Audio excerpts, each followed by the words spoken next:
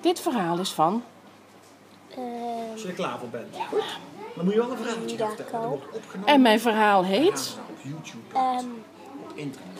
Dan kun je het later, kun je jouw papa en mama kunnen. Dat jij een verhaaltje aan het vertellen bent. Oh, kijk, daar is Jacco. Hij is aan het. ehm, eten. Hier is, ben je klaar voor?